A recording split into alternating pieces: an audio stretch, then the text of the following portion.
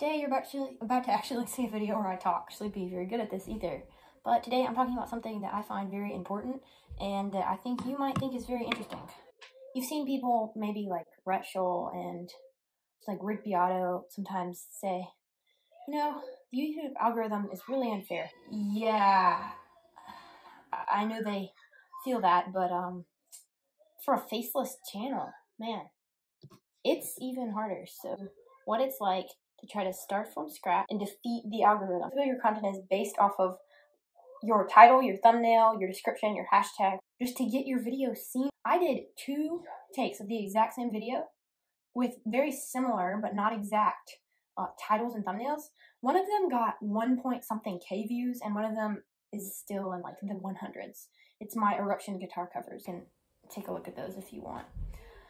Really annoying because you have to market your video no matter how great the content is. You have to market your videos.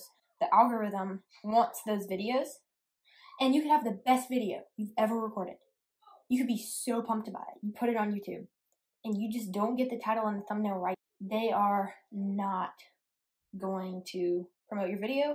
So yeah, that's really annoying. And then the second thing about YouTube is that faceless channels are so a thumbnail with um you know the classic like YouTuber face or whatever um it's going to get 20% more views than me here with my faceless channel. So just because this is getting me a lot less views and it's not really fair.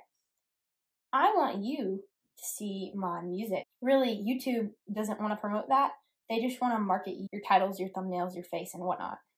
You do so. I I want to keep making these guitar covers, guitar jams, riffs, songs, and eventually I'm going to be coming out with a single. And I want to keep putting out what I love. And people, you know, I'm just saying that I agree with these guys. The algorithm could have some improvement. and yeah, it's hard for YouTubers. It's not an easy thing.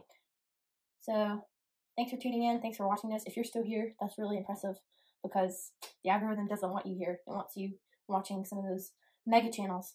So, thanks for sticking it out, and I hope you will stay with me on my YouTube journey as I continue to make content that I like instead of making content that the algorithm likes. Let's defeat the algorithm.